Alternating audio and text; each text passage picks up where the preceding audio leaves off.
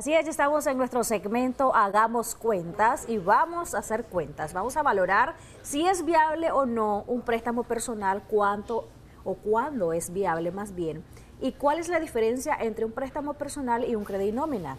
El crédito nómina es también un préstamo personal, pero hay algunas diferencias que debemos de evaluar ya con nuestra experta que nos acompaña, Gisela Canales, experta en finanzas. Bienvenida, Gisela, un gusto que estés con nosotros. Encantada, encantada, sobre todo aclarando este tema que es muy común que llamen a la gente y le ofrezcan un préstamo personal y a veces las personas no conocen la diferencia, como bien mencionaba, de cuando es deducido de planilla o un crédito nómina o cuando es un préstamo personal con un banco ajeno al que te paga eh, tu salario. Hay dos tipos de personas, por lo general, en, en materia financiera. Los que le tenemos miedo a la deuda y los que nos endeudamos porque lo necesitamos y ya ni modo. Pero hay que saber endeudarse también. No toda deuda la vas a tomar porque es una responsabilidad y al final vas a pagar sí o sí. Exacto. ¿Son viables los préstamos personales? ¿Cuándo debemos de considerar? Ok, en general todo crédito, recordemos que es un compromiso y es un dinero que vos ya no vas a poder disponer. Si vos recibís, por ejemplo, cada quincena 6 mil córdoba y te estás comprometiendo con cualquier tipo de empresa a pagar una cuota mensual de mil, supongamos, quiere decir que yo ya no voy a tener esos mil disponibles para mis compras. Entonces yo tengo que tener conciencia de que cada quincena o que cada mes yo no voy a poder hacer las cuentas como normalmente lo hacía, sino que tengo que sacar dinero y me tengo que acomodar con el resto. Generalmente no se ve de esta manera, solo se ve en la solución que me va a brindar el crédito y me emociono, pero menciono esto para que siempre, antes de tomar cualquier crédito, sea bien pensado, con números en mano, con nuestros gastos, para verificar si realmente lo podemos pagar. Eso es lo primero. Lo segundo es lo que preguntaba Jocelyn, ¿realmente conviene? ¿Es bueno? ¿No es bueno? Mira, si vos vas a utilizar un crédito para algo que te va a dejar un bienestar o algún tipo de beneficio duradero que te va a beneficiar en el futuro, adelante. Como que, por ejemplo, suponete que tomaste un crédito personal para cursar un posgrado, una especialización, que es algo que te va a permitir aplicar a otro tipo de empleo o escalar en donde ya estás. Que se va a pagar solo, como decimos. Exacto, porque vos esperas una mayor remuneración en el futuro al escalar eh, profesionalmente o pagarle un curso de idioma a uno de tus hijos, por ejemplo, y eso le va a permitir adquirir un nuevo empleo o para tu casa, un vehículo que pudiera ayudarte a generar ingresos. para un negocio. Todo, para un negocio, todo lo que te permita tener un bienestar o un beneficio duradero en el futuro, adelante. Es un buen uso del crédito. Pero si algo para este fin de semana largo, por ejemplo, y disfruté, ajá, fueron tres días, y después qué? Ya me quedo seis meses, doce meses pagando lo que disfruté hace un año, no tiene sentido, es algo que no tuvo un beneficio duradero, sino que fue algo efímero. Entonces, si es para un beneficio duradero, el crédito es un buen aliado, siempre y cuando esté dentro de tus posibilidades. Y aquí es importante hacer la aclaración que mencionaba Jocelyn, que no todos los créditos son iguales. Créditos personales te los van a, es, digamos, el paraguas de distintos tipos de créditos que hay. Incluso los préstamos de vehículos es un tipo de crédito personal, los préstamos deducidos de planilla, que es que te dan el dinero para lo que vos quieras usarlo, es un crédito personal. También crédito, hay que hacer la aclaración. Recordemos que muchas veces, o ahora cada vez más, las empresas están pagando salarios a través de banco. Entonces vos ya sos un cliente de ese banco, Jocelyn le pagan a través del banco X y recibe su salario. Entonces el banco X ve el movimiento de Jocelyn y dice, ve, le vamos a ofrecer un préstamo personal deducido de planilla o este crédito nómina. Esa es la diferencia respecto al otro Exacto, mientras que el otro puede ser el banco Y y aunque vos no te paguen el salario ahí, vos has sido cliente quizás con tarjetas de crédito o sacaste un crédito de vehículo en algún momento y ya lo pagaste, te ofrecen, ve, tener disponible o preaprobado un crédito personal para lo que vos querás. Hasta te dicen cumplir tus sueños, hacer lo que vos eh, consideres con ese préstamo. Entonces, en el caso de este segundo, que no te pagan tu salario ahí, vos tenés que ir cada mes o hacer el pago en línea, depositar a la cuenta respectiva para que puedan deducirse de ahí. Mientras que en el otro, automáticamente te lo quitan de tu salario. Y el interés el credinómina y los otros préstamos personales es igual. Ok, en el caso de credinómina, como el riesgo disminuye para el banco, porque prácticamente vos no tenés que ir a pagar, sino que ellos en cuanto te pagan tu empresa, te debitan, te lo deducen. Entonces la tasa generalmente es menor. Para que nos demos una idea, puede ser entre el 13.5 y 16.5, es lo que casi siempre escucho en la oferta, eh, por ciento anual, entre el 13.5% y 16.5% anual, o sea, estamos hablando de menos de un 2%. 1%, incluso anda por el 1.5% mensual, sería el equivalente. Un préstamo personal con otro banco que no te pagan planilla, donde aumenta un poco el riesgo porque saben que tenés que ir a hacer el pago respectivo o el depósito, estamos hablando que puede andar generalmente entre un 20, 24, 25% anual máximo. Estamos hablando ya de un 2, 2.1% mensual. Queremos recordar, Gisela, a nuestra audiencia que puede participar de este segmento mediante sus comentarios en nuestra transmisión en Facebook. Recuerde que nos encuentra como Canal 10 Nicaragua. Ahí usted puede aprovechar la presencia de nuestra experta en finanzas para hacer sus preguntas respecto al tema de los créditos muchas veces eh, vemos un sobreendeudamiento y a veces lo hemos vivido, a veces familiares. ¿Qué hacer en esos casos? ¿Es viable sacar un préstamo si hay alguna entidad bancaria que te lo ofrece, pagar esas deudas y quedarte con una sola cuota, por ejemplo? Correcto. Mira, el sobreendeudamiento, para que tengamos claridad, se da cuando hemos asumido más créditos de los que tenemos capacidad de pagar.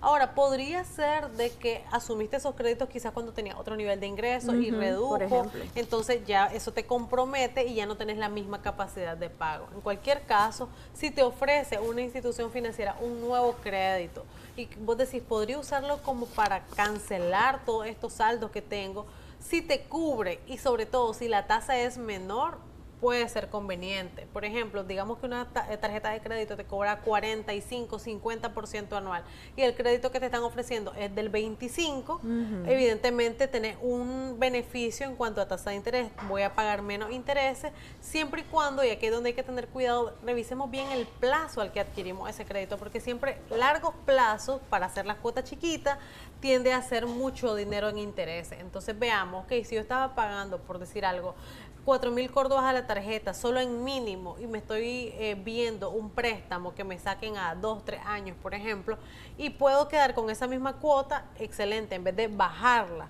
sino que buscar cómo mantener ese mismo nivel de pago para que sea en el menor tiempo posible. Lo otro que tenés que revisar también es que a veces ahí es donde fallamos. No se trata solamente de pagar esos poquitos que saldos que podamos tener, tarjeta u otros préstamos, sino también revisar, ok, ¿qué tengo que hacer para no volver a caer en este ciclo? Porque imagínate que pagas la tarjeta o las tarjetas tenés este nuevo crédito y después volvés a llenar las tarjetas, ahora vas a tener las tarjetas y el nuevo préstamo. Y ahí se va a hacer insostenible. Entonces, siempre y cuando verifiquemos que tomamos las medidas adecuadas para evitar caer nuevamente en esa situación. Y ese hábito es un poco difícil en algunas personas porque están acostumbrados quizás a un nivel de vida que les permitía ese nivel de ingresos que tenían antes. Entonces, ¿cómo venir y decir, bueno, este es un gasto y ya vamos a entrar un poquito ahí a otro tema, pero sí es importante que demos algunos tips, Gisela. Eh, ¿Cómo hacer comprender a las personas qué es un gasto y qué es una necesidad en esa medida. Vos lo decías hace unos minutos, bueno, si te va a servir para comprar un vehículo y ese vehículo te va a ayudar en tu trabajo, genial. Pero si lo que estás buscando es lujos y no necesidades, ahí donde nos Sí, mira, tienes que ser bastante realista con tu capacidad, aunque a veces es molesto, es incómodo o incluso frustrante, vos tenés que tener claridad de hasta dónde te permite tu bolsillo comprar o gastar. Si es algo indispensable para tu calidad de vida, como por ejemplo la vivienda, la alimentación, eh, salud, medicina, etcétera, ok, son prioritarios, gastos prioritarios, pero aquellos gastos no prioritarios o no esenciales son aquellos que tenemos que ir ajustando, tal vez no eliminar por completo, pero entonces, bueno, si yo iba por decir algo, cada 15 días al cine, bueno, tal vez voy a ir una vez al mes y en el día de promoción, nada más. No puedo ese día, pues no vamos.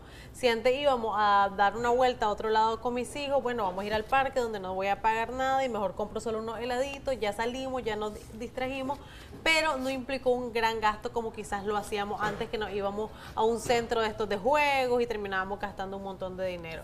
¿Por qué? Porque nada te sirve que hoy te rehuses a aceptar tu nueva realidad continúe ese nivel de gasto y ese nivel de gasto, al no poderlo cubrir con tus ingresos, se va a convertir en deuda. Entonces vas a llegar inevitablemente a un momento en el que no vas a poder pagar y vas a tener que reconocer y va a ser más duro hacer ajustes ya en ese momento porque la deuda va a ser mucho mayor que irlo haciendo poco a poco. Y aquí es clave empezar a presupuestar. el presupuesto es para controlar cada centavo cada centavo a veces sabemos lo que ganamos, pero no lo que gastamos. y ese es un gran problema. Tenemos algunos comentarios, nos dicen, en mi caso, muy buenos días, gracias por el tema.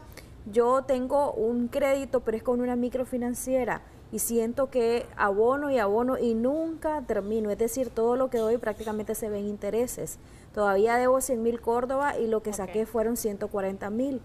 ¿Qué me recomienda? Ok, las microfinancieras tienen una tasa de interés mucho más alta que los créditos personales bancarios. Estamos hablando de mínimo un 40% anual y fácilmente pueden llegar al 80% anual. En el caso de las casas comerciales, están registradas como microfinancieras, la parte que otorga el crédito puede andar entre el 80 y 90%. Entonces, revisa, mira, aquí esta parte va a ser difícil, pagas tu cuota regular, pero busquemos ya sea generando algún ingreso los fines de semana extra, toda cantidad es bienvenida, recortando algún gasto, tal vez si yo antes pagaba, por ejemplo, un plan de datos o internet en la casa, bueno, esos mil córdobas que pago voy a ajustarlo, voy a buscar otras alternativas para no tener que pagar eso y esos mil yo meterlos como un pago extraordinario o un pago al capital. ¿Cuál es la diferencia? Que vos pagas tu cuota, está al día, pero adicionalmente le estás inyectando, es decir, estás abonando a la deuda principal, los 100 mil, digamos, en tu caso que mencionas. Esta va a ser la única manera para que salga antes de tiempo de este crédito. Y otra recomendación, no aceptes nuevos créditos. Hay una modalidad que es muy peligrosa, Jocelyn, que los televidentes tienen que tener claro que, por ejemplo, una X empresa te ofreció 20 mil córdobas de crédito. Vos decís, ah, ok, lo agarro. Cuando ya fuiste pagando y ahora debes 10 mil de saldo, te dicen, mira, ahora te vamos a prestar 30 mil, pero como me debes 10 mil de los 30, me debito esos 10 y me debes los 30. Cuando ya bajaste esos 30 y ahora debes 20, por ejemplo, te prestan 40, de los cuales se quitan esos 20, se los pagan pero ahora le debes 40. Entonces, si vos te fijas, en la práctica no estás recibiendo más dinero porque solo baja un poquito la deuda y nuevamente te vuelven a endeudar. Claro, ellos si ven que vos estás pagando y mantienes el mismo nivel de cuota, te lo van a ofrecer. Pero, ¿por cuántos años estás comprometiendo tus ingresos? Recuerda que al final en esta vida nada es 100% seguro. Hay personas que dicen, bueno, yo tengo mi trabajo y estoy segura. O sea, nunca sabemos qué cosas pueden pasar. La empresa podría tener un problema, la empresa donde trabajas, pudieras enfermarte, accidentarte y ya no va a tener el mismo nivel de ingresos, entonces tratemos de tener nuestras finanzas lo más libres y flexibles posible. Eso es bien importante porque cuando vas a una entidad bancaria y quieres hacer una inversión o una compra, sea esto con vistas a un negocio o a una necesidad que tengas y te, te ofrecen hasta cuatro, cinco, seis veces tu salario, ¿hasta dónde te puedes endeudar? Pensando justamente en eso. Hay gente que incluso dicen, bueno, cualquier cosa, ya por último con mi liquidación pago. ¿Qué tan recomendable es, Eso te decir que no es recomendable. Hay personas que hasta renuncian para con la liquidación hacer la cancelación o al menos un abono fuerte a las deudas, ni siquiera las cancelan. Y no es recomendable recordar que esa liquidación vos deberías utilizarla para cubrir tus gastos en un periodo que te quedaste sin ingresos y quizás del todo no tenés claridad de cuándo vas a recuperarlos. Entonces deberíamos verlo como un ahorro porque al final son tus prestaciones laborales por el tiempo que llevas laborando. No es para que lo pagues de un día para otro y te quedes sin nada, porque al final no puedes esperanzarte de que en el corto tiempo vas a encontrar trabajo, porque como puede ser que sí lo encontré, puedes pasar tres, cuatro, seis meses sin ingresos y cómo vas a hacer para cubrir tus gastos regulares. Ahí es donde entra la liquidación, pero si ya la gastaste en pagar deuda, por eso es que tenemos que ser muy sabios a la hora de elegir qué crédito vamos a tomar, cuánto nos vamos a endeudar, cuánto realmente podemos pagar para que sea manejable. Ok, tenemos más comentarios, Isela, gracias por eh, el tema. Nos dicen por acá, muy buenos días, perdí mucho dinero últimamente porque buscaba duplicarlo con inversiones y pues lamentablemente me fue mal. No invertí bien y no recuperé ni siquiera el 50%. Esto es un problema porque no me dan financiamiento y no sé cómo cubrir mi nivel de endeudamiento con mi negocio porque no me está dando lo que yo esperaba. ¿Qué pueden hacer las personas en estos casos cuando ya caen en una situación en la que dicen yo quiero pero no puedo? Claro. Vean, cuando hay una un deterioro comprobado, es decir, que vos puedes sustentar que han reducido tus ingresos, ahí es donde entra eh, una figura que se llama la reestructuración. Para tu récord crediticio no es la mejor amiga porque vos ya estás dejando en evidencia que tu capacidad de pago se redujo, por lo tanto se te van a cerrar algunas puertas crediticias, pero sí, lo peor que puedes hacer para tu récord crediticio es no pagar. Entonces, lo más viable sería acercarse a la institución o instituciones financieras donde debe y verificar si eh, con esos soportes de que eh, has reducido tu nivel de ingreso o tu capacidad de pago, ver qué alternativas te ofrecen, en este caso una reestructuración podría ser lo posible. Ahora, si el negocio no nos está dando, hay que identificar cuál es la razón por la cual no nos está dando. Quizás los gastos están muy elevados, quizás las ventas están muy deprimidas y no logramos cubrir los gastos operativos. No tenemos más información sobre qué tipo de negocio es, pero recuerden, y esto también se lo comento porque a veces las personas dicen, ¿para qué voy a ahorrar? Mejor solo, mejor voy a invertir. Toda inversión implica un riesgo y el televidente ya nos comentó su caso, lo que ocurrió, ¿verdad? Entonces recordemos que la inversión viene después del ahorro, o sea, primero ahorro, tengo un fondo y cuando yo ya tengo dinero del cual puedo disponer y me puedo desprender incluso pudiera perder, porque toda inversión puede tener el riesgo de una pérdida total, paso a la inversión. Entonces esperamos que este televidente pues se acerque a las instituciones financieras para ver qué alternativas le ofrecen. Si no es el caso, si por alguna razón les dicen que no, con mucho gusto puede escribirnos a través de nuestra página de Facebook en Dele Peso a sus pesos y ahí podemos continuar viendo su caso. Tenemos más comentarios, Gisela. Buenos días. ¿Por qué los bancos revalorizan los créditos cada tres y seis meses con el 1.5% del monto del préstamo?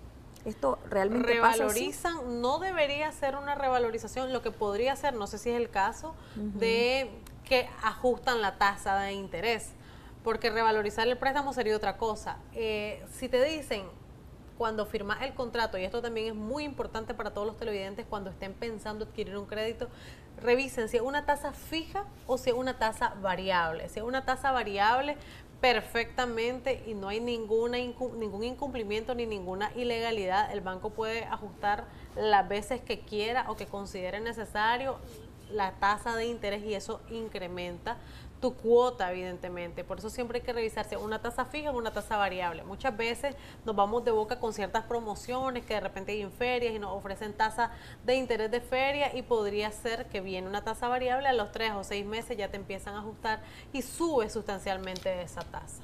Ok, tenemos más comentarios por acá en nuestra transmisión en Facebook. Gracias como siempre por cada uno de sus comentarios. Buenos días. Cuando ya estás a punto de terminar de pagar un crédito y quieres aplicar a un financiamiento, pero tu nivel de ingresos no es tan comprobable, ¿qué se puede hacer?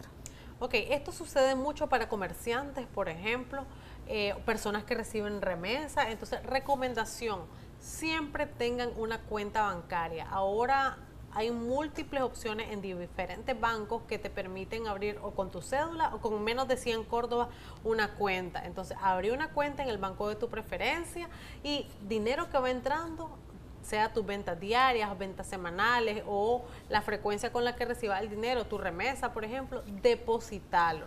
Después de seis meses, un año, vos ya vas a tener un movimiento constante que te va a permitir hacer ese soporte ante cualquier institución financiera de, mira, aquí está mi ingreso, este es mi estado de cuenta por mes, cuánto dinero entró y eso te va a permitir demostrar que realmente estás percibiendo ese dinero. Ok, Gisela, tus comentarios ya para ir cerrando respecto a la viabilidad de los préstamos personales. Hay quienes lo hacen, como decía vos, para viajar, hay quienes lo hacen para invertir en su educación y otros que lo hacen para créditos de consumo, para una mejora en la casa y este tipo de cosas. Pero me gustaría tus recomendaciones también, hablando de casos donde ya hay una deuda y vas a adquirir otro compromiso financiero.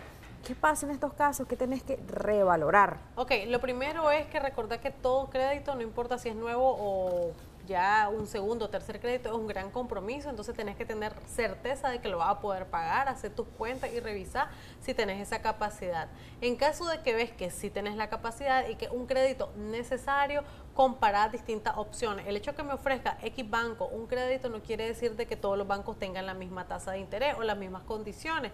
Revisemos, hagamos, comparemos por lo menos dos o tres alternativas para ver cuál es la que te conviene más. Siempre hacer el número final, es decir, con la cuota que me están diciendo y el plazo que me están diciendo, cuánto voy a terminar pagando. Recordad aquí incluir siempre cualquier comisión por desembolso. Y en el caso de que estés pensando sacar un crédito para pagar otro, hacerlo siempre y cuando, uno, la tasa de interés del nuevo crédito sea inferior a las que ya estás pagando, porque si es mayor, más bien te está eh, haciendo un daño financiero. Y segundo, que realmente tengamos la capacidad y la madurez de superar las causas que me llevaron a tener esas otras deudas, porque si solamente estoy tapando un agujero y abriendo otro, esto se va a repetir durante muchos años hasta que veas que se haga insostenible. Entonces tenés que revisar, ok, fue por una emergencia de salud, por ejemplo, hace dos, tres años, ok, ya sabes que algo que no esperas que se repita, podrías tomar otro tipo de medidas como un seguro, etcétera, ya ese es otro tema.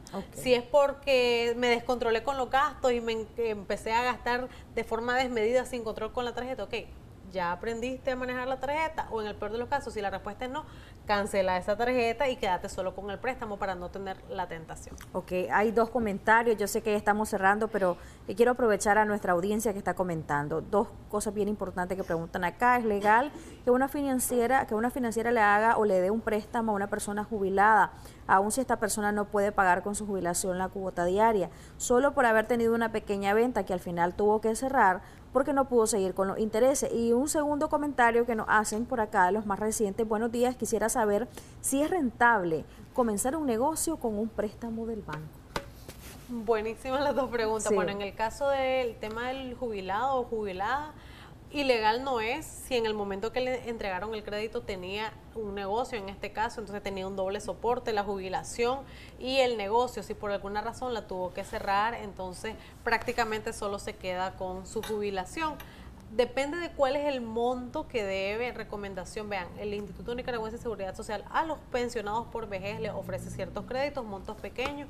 Habría que ver si con alguno de estos créditos cuya tasa de interés es significativamente menor, es mínima, podría cancelar el otro crédito y se deshace de él.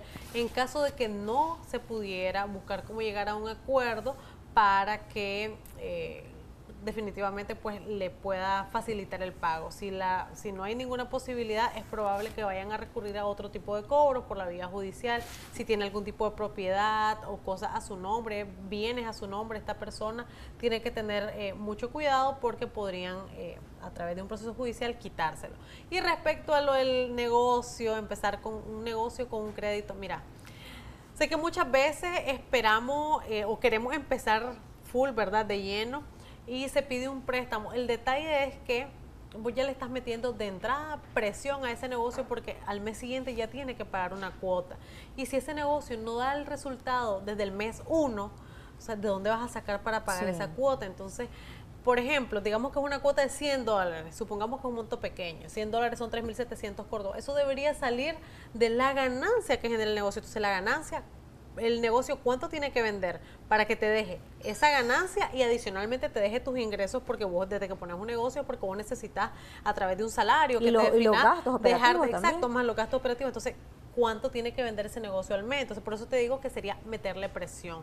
En cualquier caso, si tomas la decisión, trata de que sea el menor préstamo posible para que no esa presión sea menor, pero lo recomendable sería no iniciar con un crédito, sino con capital propio. Es mejor empezar pasos pequeños pero firmes y no que empezamos en grande con un dinero que no es nuestro, pero que al mes siguiente ya nos va a estar ahogando. Ok, preguntan si es obligatorio pagar el seguro saldo de autor. Sí, así es en teoría es una precaución que toma el banco en caso de que a vos te pase algo, ¿quién va a pagar? O sea, en este caso sería la aseguradora y es parte de los contratos. O sea, legalmente no se establece como sí o no es legal.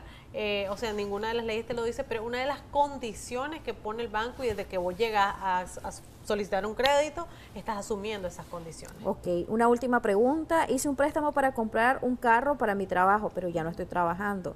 ¿Dónde estaba? Ahora estoy trabajando desde mi casa. Quisiera saber si es viable vender el carro para pagar el préstamo o seguir pagando el préstamo porque pago 150 dólares mensuales. Mira, esa respuesta solamente vos la puedes tener porque no sabemos cuál es el saldo del, del vehículo del préstamo y cuál es el precio al cual se podría dar el vehículo. Si por ejemplo el vehículo vos lo vendes a 6 mil dólares, vos haces una estimación, puedes revisar en páginas de internet que venden vehículos, más o menos ese modelo, ese año, cómo se está moviendo, digamos que fuera 6 mil dólares. Y el saldo es de 5 mil, si vos vendes, pagas el saldo y todavía te quedan mil dólares a tu favor. Pero si lo vendes en 6 mil y tu saldo todavía es 10 mil, aunque vendas el vehículo, vas a tener esa deuda y vas a tener que seguir pagando durante un tiempo. Entonces tendrías que ver según el saldo del préstamo y el valor del vehículo qué es lo más conveniente. Ok, gracias Gisela nuevamente por habernos acompañado. Siempre bienvenida acá a Acción 10 en la mañana. Usted que estuvo pendiente del segmento, muchísimas gracias por su sintonía y comentarios.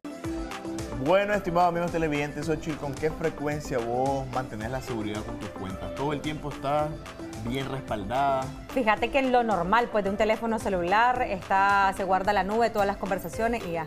Déjenme decirles, estimados amigos televidentes, de que ahora, evidentemente, ha llegado el punto de los hackers hasta WhatsApp, ¿verdad? O sea, que los ciberdelincuentes han encontrado herramientas y técnicas para poder acceder a tus cuentas, incluyendo ahora WhatsApp. Y es que con el spoofing ellos pueden controlar, eh, pueden duplicar, pueden enviar también conversaciones a tu nombre. Ellos pueden acceder a esto y ellos pueden eh, también enviar esos mensajes y cambiar tu identidad. Hay una empresa que se llama ESET y ha advertido de esta amenaza de WhatsApp para que ustedes que son usuarios de esta aplicación puedan tomarlo en cuenta. Veamos en Click Tecnológico.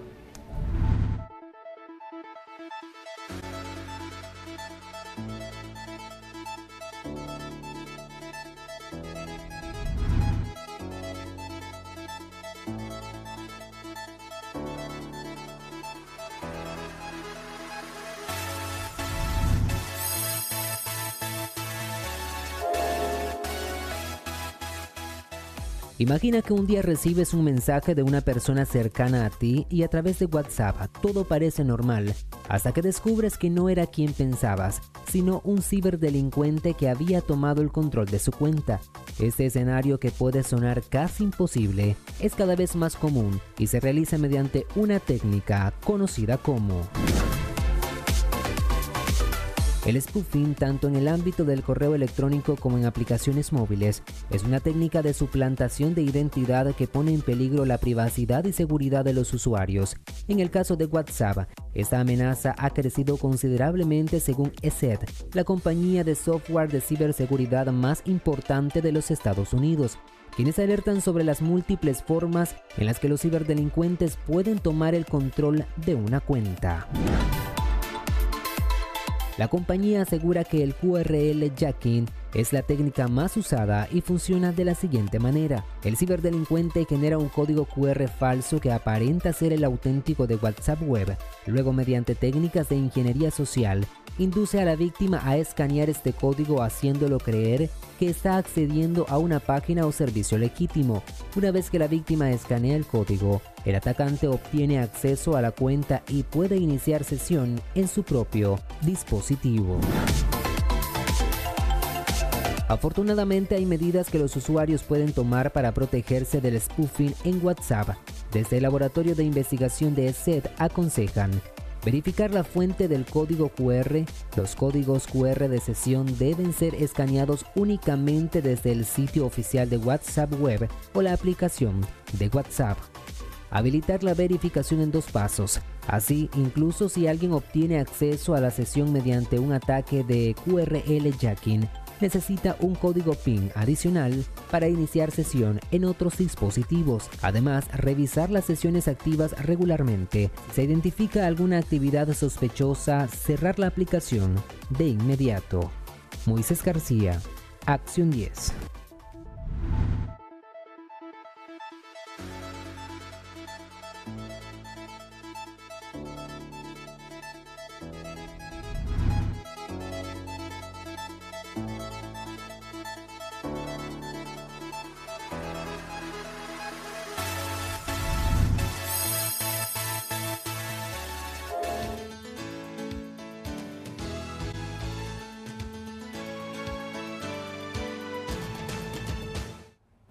De temas de tecnología pasamos a hablar a temas de salud. Hoy en consulta con el especialista hablaremos acerca de la cefalea o migraña. ¿De qué se trata esto? Por supuesto, si usted quiere unirse a nosotros, quizás ha tenido algún síntoma relacionado con esto, puede perfectamente escribirnos a través de nuestra página de Facebook. Aparecemos como Canal 10 Nicaragua, en donde estamos en vivo, por supuesto, para hablar sobre este tema tan importante y tan recurrente en la población nicaragüense. Nos acompaña la doctora Sofía Barreto, quien es médico y cirujano general de Clínica Salud para el mundo. Gracias doctora por estar con nosotros una vez más. Para nosotros es un placer obviamente poder conversar de temas de salud con un especialista como lo es usted. Buenos días. Iniciar primero consultando acerca de cefalea o migraña. Nosotros podemos decir es lo mismo, pero se trata de dolor de cabeza, pero ¿cómo lo diferenciamos? Entonces sería como hablar un poquito acerca de qué es cefalea y también qué es migraña. Ok, migraña es un tipo de cefalea, es un tipo de cefalea primaria porque se clasifica tanto en cefalea primaria como cefalea secundaria. La migraña se va a diferenciar de la cefalea tensional con respecto a las características de los síntomas.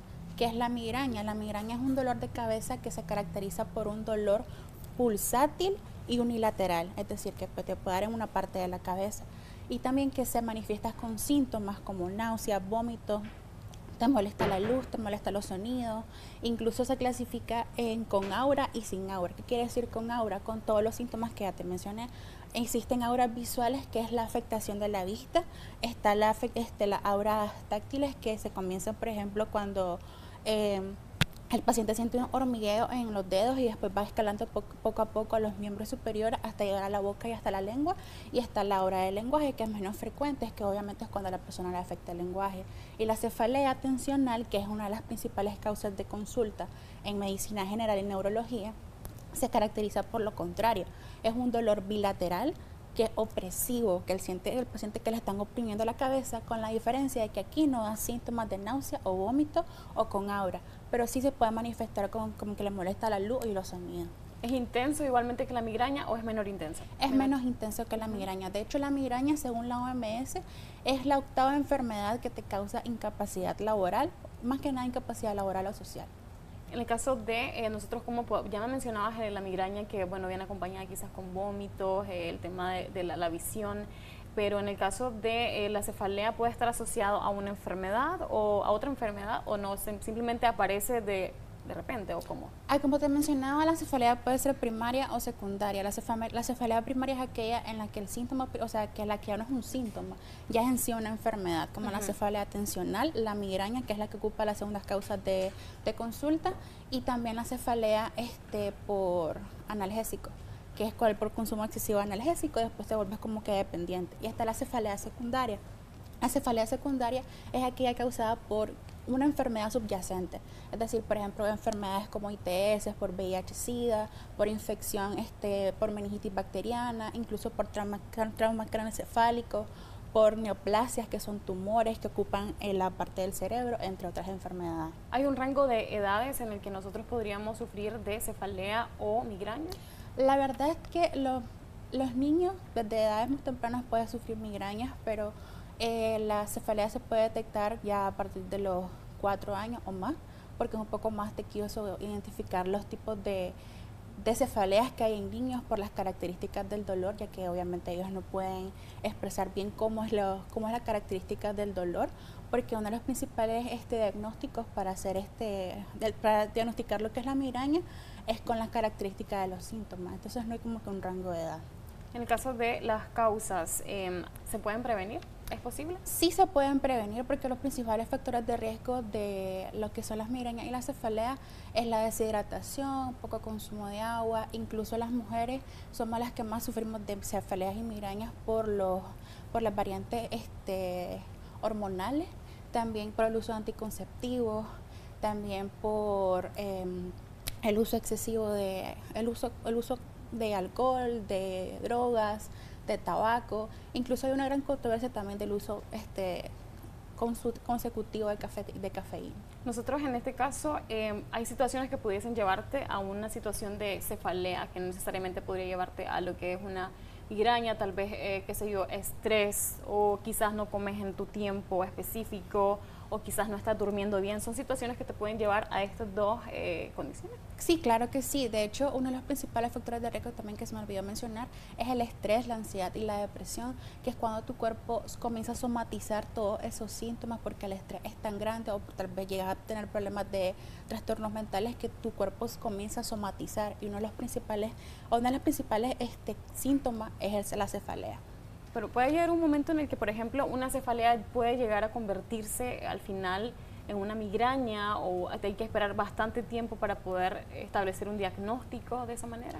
Ah, como te decía, la migraña es un tipo de cefalea. Entonces la migraña ya en sí ya es una enfermedad que como te decía ocupa es de las primeras ocho enfermedades que ocupa la incapacidad laboral según la OMS y sí se puede, o sea, como te decía, se puede diagnosticar de diferentes formas, más que nada por la clínica, solamente que la clínica de la migraña es un poco más, más difícil, o sea, no más difícil, sino como que un poco más dura por todo lo que conlleva. Y la, el paciente tiene que estar encerrado, tiende a estar con muchas ganas de vomitar, no puede estar expuesto a la luz, le molestan los sonidos, incluso hasta los olores. Entonces, el diagnóstico de migraña es un poco más, este, más este, dirigido perdón, a los síntomas. En el caso del tratamiento, como ya explicaba vos, el tratamiento de la cefalea es algo que lo tratás, se quita, pero ¿qué pasa con la migraña igualmente? Porque me imagino yo que no es algo, o tiene cura, no tiene cura. Pues se puede prevenir y se puede tratar. Hay diferentes tratamientos preventivos y tratamientos también ya en la crisis. El tratamiento preventivo hay diferentes fármacos, pero tienen que hacerse con criterios, al menos de tres episodios al mes de tanto cefalea o de migraña, pero por lo general siempre se da un tratamiento preventivo en aquellas personas que tienen migraña y después son con las crisis que se dan el tratamiento. Nosotros, eh, si realmente, por ejemplo, hay fármacos, hay algún tipo de terapia física que nosotros también pudiésemos eh, practicar para poder reducir estos síntomas. De hecho, sí, están los fármacos que son los AINES, otros tipos de fármacos también que ayudan a, la, a la prevención de la migraña y también es muy bueno hacer yoga y hacer pilates y hacer ejercicio físico, porque eso también te ayuda a liberar estrés, ansiedad, a estar un poco más activo y a liberar este, muchas hormonas. Nosotros recordarle a nuestra audiencia que tenemos, estamos a través de Facebook, aparecemos como Canal 10 Nicaragua y ya tenemos algunos comentarios que vamos a estar leyendo ahorita. Y dice, buenos días, es normal que después de que me pasen los efectos de la migraña me dan adormecimiento del lado derecho de mi cuerpo, cara, brazo y pierna y también sudoración. Sí, ah, como decía anteriormente, es uno de los principales síntomas también de lo que es la migraña porque son auras y las auras no siempre se presentan antes de la de los, o sea, antes de la migraña, antes de los síntomas de la migraña, siempre se pueden presentar durante o después de la migraña. ¿Algo que desaparece sí cuando tomamos el medicamento o no? Eso ¿Va puede permanecer ahí por un tiempo? No, eso puede permanecer por un tiempo, pero incluso después de terminar el tratamiento puede, puede desaparecer. Bueno, dice, buenos días, he tenido dolores fuertes que empiezan desde el sentido, imagino que es por acá, solo a un lado de la cabeza. Entonces, ¿de qué, ¿de qué pudiese tratarse este caso? Puede tratarse de una, cefalea, de una cefalea migrañosa, porque como decía anteriormente, la cefalea tensional es aquella que afecta bilateralmente y la cefalea migrañosa es la que afecta unilateral. Sin embargo, es muy importante este, saber cuáles son los otros síntomas que ha estado presentando para tener un diagnóstico más certero. Si también nos preguntan, a mí me duele la mitad de la cabeza, el dolor viene desde el cuello, paso hasta días con el dolor y dice que le ha dolido también lo que es la mitad del rostro, dice que no sabe qué hacer. Lo importante sería ir a pasar consulta para valorar cuáles son los síntomas que está afectando, pero también el diagnóstico se orienta más a una cefalea migrañosa por lo del tiempo de duración, porque cabe destacar que la cefalea migrañosa dura más de 4 de cuatro horas hasta, hasta 72 horas. Dice, también otro usuario acá dice, padezco de migraña desde niña, dice, dice que se lo desencadenó un perfume. Hoy a mis 43 años, ahora los dolores son más intensos con todos los síntomas habidos y por haber. En ese caso, ¿cómo se puede tratar? Me imagino yo que con el paso del tiempo, si es una persona que ya lleva pues bastantes años con, con este diagnóstico, eh, la dosis va cambiando. ¿Hay alguna manera de que esta persona pues obviamente pueda disminuir, reducir el dolor? ¿Qué pasa? Hay que ir también al médico para ver si se cambia el medicamento. Eso también es muy bueno de que ir al pasar consulta para saber cuál es el medicamento que está tomando, porque después de cierto tiempo nosotros quedamos con cierta resistencia a los medicamentos, entonces es muy importante saber cuál es el medicamento que está tomando y también si está tomando las medidas adecuadas para evitarla o las detonaciones de la migraña. Gracias, doctora. También hay otra consulta. Dice, buenos días, a mí me da dolor de cabeza, entumecimiento en la lengua y se me pone, se dice que hasta se le ha caído un párpado. Luego del dolor insoportable, dice que le da como sueño. ¿Qué tan grave será eso? Pregunta y dice que en la tomografía simple le dijeron que no, que no hay nada, que, bueno, y que agradece pues obviamente la respuesta que usted le va a brindar ahorita. Pues en ese caso, cuando hay caída del párpado que se llama tosis palpebral, lo ideal sería pasar consulta con un neurólogo para valorar lo que está pasando. Si en la tomografía no salió nada, es muy importante pueden llegar incluso a nuestra clínica a pasar consulta para que veamos lo que está pasando con la tomografía, ya pasar, pasar consulta conmigo, pasar consulta con la médico internista para valorarla, porque sí este, llama mucho la atención la tosis palpebral, que es la caída del párpado. Eh, también nos consultan, buen día, yo padezco de un fuerte dolor, dice, del lado de la nuca, el lado izquierdo y con dolores también de ojo también agrega esta persona, igual que el caso anterior. Sí, también hay muchos síntomas que se derivan de la cefalea tensional, tanto como la migraña, que comienzan a nivel de las cervicales y se van irradiando poco a poco a nivel occipital. Entonces son síntomas también que hay que valorar. Sí, hay bastantes consultas sobre este tema y es, agradecemos, ¿verdad?, que ustedes se unan con nosotros a hablar de un tema tan importante del que, como mencionábamos al inicio, es bastante recurrente. sí. muy común. Dice, buenos días, a mí me da mucho dolor de cabeza desde los 16 años y ahora tengo 34 y no miro mejoría. Y se me duerme en la mitad de la cara y en la parte del cerebro se me hunde y se me inflama. Eso también es una, es una pregunta muy interesante porque desde los 14 años hay que ver si es varón o mujer también, porque si es mujer, Es una mujer. eh, hay que ver que las mujeres van variando por el ciclo menstrual y también por diferentes etapas que pasan hormonales. Es un poco más duro lo que es la, los dolores de la migraña. Los episodios de migraña son un poco más duros en las mujeres por todas las fluctuaciones hormonales que sufrimos. Bueno, entonces me imagino que necesitaría como tal vez una, una valoración, porque, Exacto, me una valoración. porque es como interesante lo que menciona de que dice que siente como que se le hunde la parte del cerebro izquierdo. Sí, normalmente llega, los pacientes llegan diciendo esa, esa- ese tipo de síntomas, pero lo muy importante es valorarlo primero para hacerle un examen físico y un examen neurológico. Otra persona nos pregunta, dice, buenos días, ¿es normal que después de convulsionar me dé dolor de cabeza en la parte de la lesión frontal izquierda? Es muy común, es muy común que la persona quede con cefalea, quede con dolor y quede desorientado. Es muy común si la paciente tiene algún tipo de lesión a nivel este, temporomandibular, temporofrontal, es muy común que las personas queden con ese tipo de síntomas, con ese tipo de, de complicaciones, por así decirlo, porque las convulsiones son una manifestación clínica neurológica muy fuerte que pueden dejar a las personas desorientadas casi por 15 minutos o más, con muchos dolores, dolor en el cuerpo eh, y muchas otras cosas. Pero También- es muy común, sí. Pero me imagino que es parte, obviamente si vas a estar con su médico, tiene un, lleva un tratamiento, es algún síntoma de que quizás el médico le ha explicado que mm, tra- viene consigo, ¿no? Le tienen que explicar, claro, si él padece ya de convulsiones, significa que está con un trastorno epiléptico u otra enfermedad. Entonces el médico le debe explicar al paciente cuáles son los síntomas o los efectos que quedan después de una convulsión. Lo muy aquí lo muy importante es tomarse el medicamento siempre que, que podamos para evitar también las convulsiones, porque las convulsiones por lo general a la larga pueden llevar a afectación del- de, la, de las partes cerebrales. Si también nos consultan, buenos días, eh, me, da, me da dolor de cabeza, pero solo le duele la parte de la frente desde que se levanta y que pasa así todo el día. Pues lo muy importante aquí hacerle exámenes también, este, llevar, me faltó este, destacar de que incluso cuando hay alteraciones visuales como miopía, este, hipermetropía, ese tipo de alteraciones, pueden provocar dolores de cabeza. Entonces lo ideal sería pasar consulta y lo, y lo invito a llevar a la clínica. Bueno, acá un- una de las personas que nos había consultado dice que es un tema muy interesante y mil gracias por su respuesta, doctora.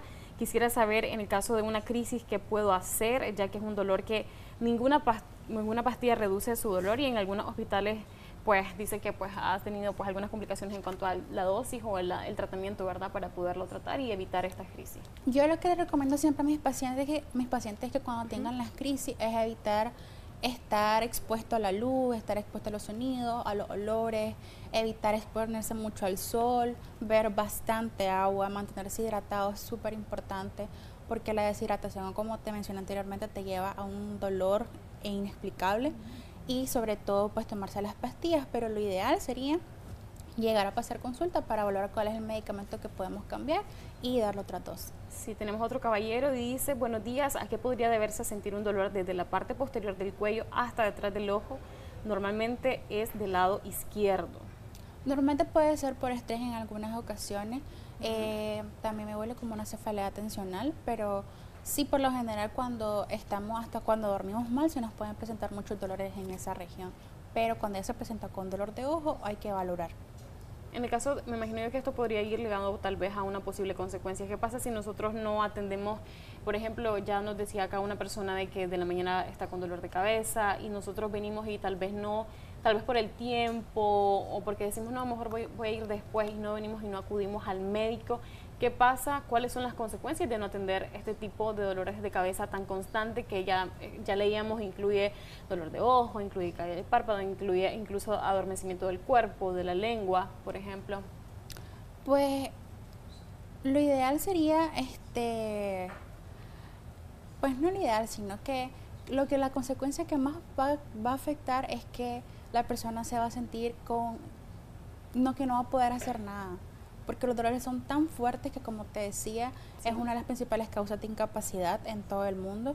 Entonces aquí lo ideal sería buscar un buen médico, eh, asistir siempre a sus consultas, valorarlo con neurología si la, los síntomas son muy fuertes.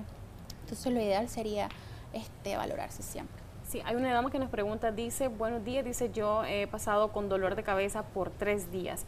¿Qué pasa en estos casos en los que llevas varios días con dolor de cabeza constante, así como menciona ella? En ese caso, los síntomas me imagino que son horribles. Me huele que es una cefalea migrañosa por el tiempo de evolución, porque, como te decía, dura de 4 horas hasta 72 horas o más lo que es la cefalea. Y sí, es un poco complicado, un tanto tequioso por las características de los dolores y todos los síntomas que conllevan.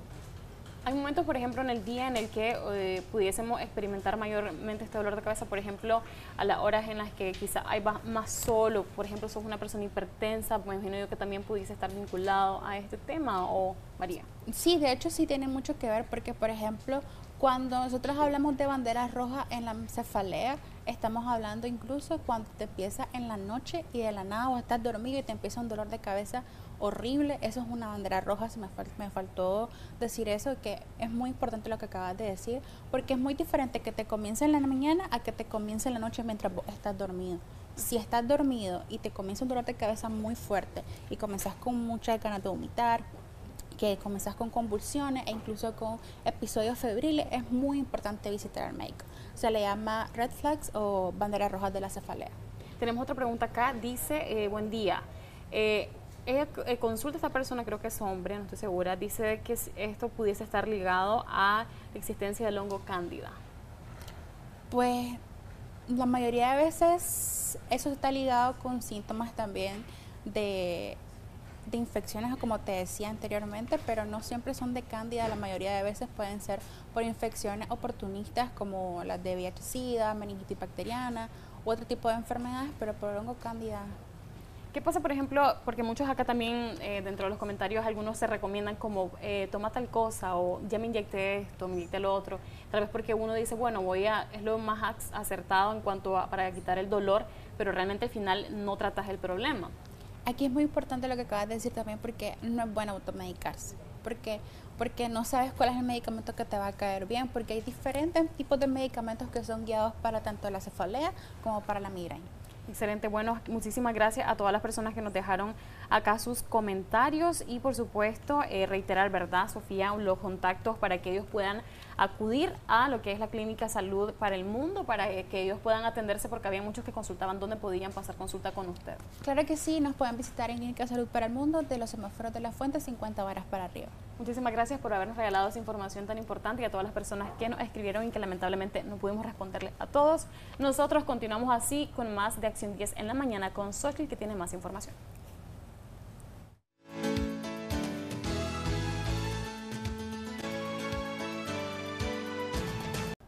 Continuamos con su revista Acción 10 en la mañana, ¿verdad? Nos vamos con temas de información para ustedes. La inmunoterapia, ¿verdad? Puede ayudar a, frenar el progreso del cáncer por lo menos en 10 años. Según un estudio publicado, ¿verdad? En Inglaterra, te contamos cómo los expertos llegaron a estas conclusiones en Lo Sabías.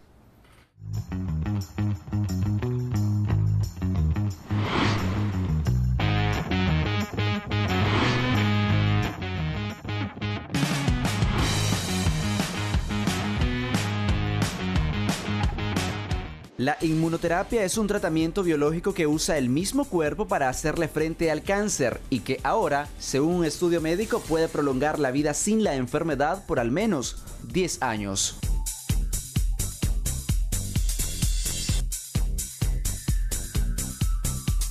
Los resultados de la investigación publicados en la revista The New English Journal of Medicine refieren que casi la mitad de los pacientes estudiados y cuyos casos fueron tratados con este tipo de terapia sobrevivieron al melanoma metastásico hasta más de una década. Durante el Congreso de la Sociedad Europea de Oncología Médica en Barcelona, los expertos explicaron que dicho método, junto a las inyecciones nombradas Nivolumab e Ipilimumab, ayuda al sistema inmunitario a identificar y eliminar células cancerosas, lo que permite que los pacientes vivan más en comparación con otros tratamientos.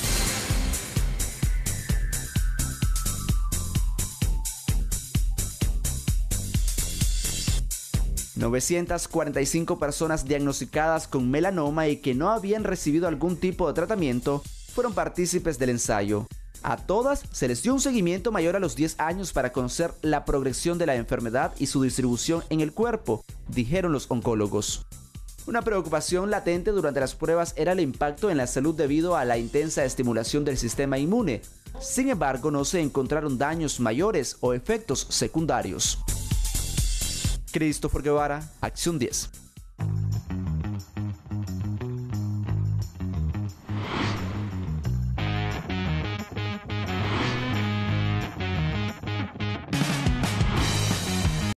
Hola, ¿cómo estamos? En clima vamos a conocer cómo va a estar el estado, cómo también va a ser esta entrada de las ondas tropicales que ya se esperan, la 26 y 27. Hasta el momento, pues se ha hablado de la onda tropical número 26 que se desplaza sobre el país, generando también humedad, ambientes en algún momento caluroso, lluvias de dispersas a moderadas. Pero en clima vamos a saber qué nos ha preparado Christopher Guevara.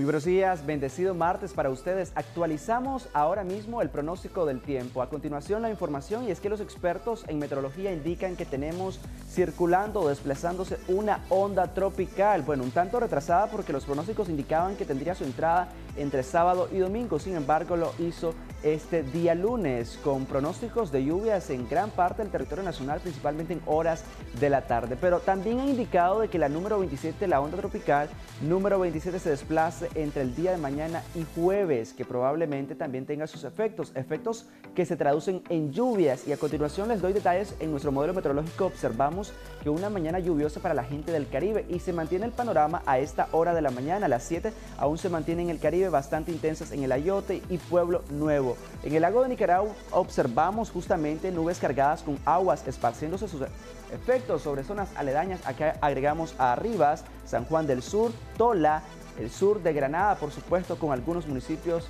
con incidencias de precipitaciones a esa hora de la mañana. Sin embargo, a las 11 de la mañana las precipitaciones dicen presente en el Pacífico del país, principalmente como observamos en el occidente, Chinandega y León y Managua, y de manera leve para el norte de la región central y el Caribe. A las 3 de la tarde se mantienen los pronósticos de lluvias en cuanto al panorama en casi todo el país con presencia de truenos. Lo interesante es que se debe tener mucha precaución debido a la incidencia de estas descargas eléctricas principalmente en el norte del país. Va despejándose a las 5 de la tarde el panorama para el resto del territorio nacional, sin embargo para la región central y el Pacífico se mantienen previsiones de lluvia, será hasta las 8 de la noche que se estructuran únicamente en el occidente del país como observamos que hay presencia inclusive de truenos. Nos vamos a hablar ahora sobre las máximas y es que los calores también dicen presente y continúan los calores. Veamos que el termómetro podría marcar en la gente del Pacífico entre los 29 y los 35 grados Celsius, una región central marcando entre los 28 y los 36 y entre los 31 y los 33 grados Celsius para la gente del Caribe. Ahora bien, hablando sobre los vientos, según los expertos tenemos condiciones relativamente normales que podrían oscilar los 1.5 metros en cuanto a oleaje se refiere en las zonas costeras. Vientos débiles a moderados para la gente del Pacífico y casi todo el territorio nacional, como observamos, la dirección será un tanto de noroeste a variable y con velocidades promedio que podrían estar entre los 5 a 15 kilómetros por hora. Ya las rachas en promedio arriba de los 40 kilómetros por hora. Me despido comentando sobre las mínimas y es que tenemos marcando para la gente del Pacífico entre los 21 y los 26 grados Celsius, para la gente de la región central entre los 19 y los 25 grados Celsius y una gente del Caribe, vea usted que bastante caluroso, principalmente en el norte del país, entre los 24 y los 27 grados Celsius. Hay que agregar que tenemos interactuando la zona de convergencia intertropical justamente en la parte sur del Caribe, dándonos condiciones adversas y de inestabilidad atmosféricas. Y para el día de mañana, miércoles, se espera que comiencen las lluvias a partir de las 11 de la mañana. Hasta acá el reporte. Buenos días.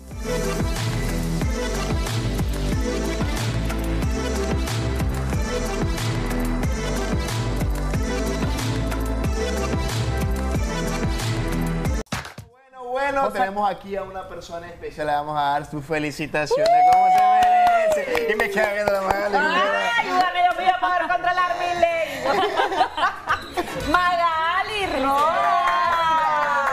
Muchas felicidades, Magali. Queremos iniciar nuestro cumpleañero del día de hoy con ese lindo pastel. Gracias, Jocelyn. Por acá, Mina, con todo el cariño, todo el equipo de Acción 10 en la mañana. Te deseamos lo mejor. Gracias por aguantarnos, Magali. Bueno, se estarán preguntando quién es Magali o a veces nos escuchan que estamos siempre diciendo Magali, enfoca aquí, decirnos dónde, cómo. Magali es nuestra realizadora, ella siempre está Oye, en control Oye, todo es tuyo, mami. Es la que hace posible de que también nosotros salgamos al aire y ustedes nos puedan ver a través de esta pantalla. Magali, muchísimas felicidades. Miren qué guapa. Pero queremos unas palabras. Pues gracias a todo el equipo. Es difícil trabajar con ustedes y también, también es, es, este, confortante, pero hay momentos pues en que me da ganas de tirarles el zapato, pero es así, ella es así. Pero gracias por este detalle. Se les agradece a todo el equipo. Gracias a vos también Gracias, por tu gentileza, por tu forma tan bonita de trabajar realmente en equipo. Creo que es muy importante tu labor y creo que a pesar de que yo sé que vos sos bien como cruda al decir las cosas, es para que todos pues salgamos bien al aire es parte del trabajo. Eso fue bien crudo, bien directo, bien preciso. Sí, Cuando decíamos eh, que estamos hablando, que estamos peleando con la Magali, pero sí, el que nos diga que no hay equipo, ¿verdad? Donde, no, donde uno no se enoja en el momento, pero ¿sabes qué es lo bonito? Que está la cordialidad, lo bonito es que trabajamos en equipo y que la idea de eso, como dice la muchacha, es que siempre salga cada día un mejor programa. Y esta mujer tiene en sus manos una tarea súper difícil, una tarea y una responsabilidad grandísima, que si ella no se pone en ese plan, la verdad, se pone como algodoncito de azúcar, nos vamos todo, ya sabe. Entonces es importante esa, esa guía, esa coordinación y esa fortaleza de Magali. Gracias, mamá de dos preciosos niños. Tres, creo. Bendiciones, saludos a tu familia, a tu mamá linda, preciosa también. Sé que eh, sos de una familia extraordinaria y una mujer bastante, bastante fuerte. Y eso nos gusta. viene de una zona bastante lejana de Managua y pues ahí ves también el interés y la ganas de trabajar y estar siempre aquí puntual con nosotros. Mándale saludos. ¿De dónde sos vos, Magali? De las flores allá. Las flores, las flores. Allá en las Flores Masaya es muy lindo el lugar y por eso ella viene siempre bien eh, así, bien tranquila. Ahí tenemos otro saludito, ¿verdad? pero también es momento de saludar a otras personas y lo hacemos con Cristian Abdiel García, que cumple tres añitos de vida. Bendiciones para él, vamos a verlo en pantalla. Él Magali, ah, no, está aquí. Está Magali, Magali. Ay, pon la foto. ¿Quién está poniendo la foto si no está la Magali? Enricito. Enricito, también queremos felicitar a Brian Samir Avilés por estar de cumpleaños. Los saludos hasta Matagalpa de parte de toda su familia. Ahí está, mire, haciendo alusión a, Matagalpa, Alfredito. Ay, qué lindo, Matagalpa, bella, yo tuve la semana pasada. Bueno, y un saludo con cariño inmenso, sin fotografía, no se preocupen, pero sí con el cariño para eh, los hermanos Justo Pastor Mendoza y Miguel Ángel Mendoza. Hoy cumplen un año más de vida. Los saludos hasta Villa El Carmen, comunidad Nandayosi. Y también con todo el cariño y respeto, saludos de a su papá, Pastor Mendoza, que Dios me lo guarde, me lo proteja. Y de parte de toda la familia, de Jocelyn Medrano, y todos con cariño por acá, los saluditos que tenemos. ¿Mm? Me encanta, bueno, ya nos estamos despidiendo. Tenemos que decir algo. Quieres decir, Ya estoy preparada ya para un pastel, ya. Ok, a compartir, este, ¿verdad? Claro. claro. A ver, que baile la Magali. La, música. Mañana. Tiene pelito, tiene tacones. Dale, Magali. Vale, dale. Ah. A ver, tiene pelito, tiene tacones.